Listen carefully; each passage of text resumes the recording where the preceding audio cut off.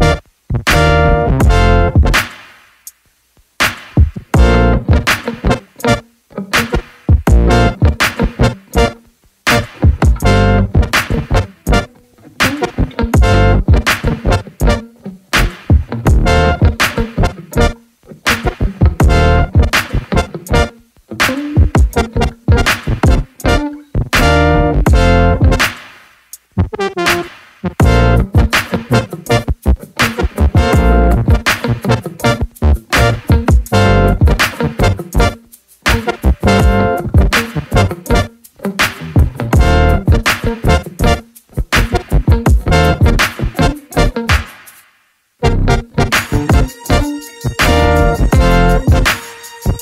going to the Masters of Food and Wine at the Park Hyatt.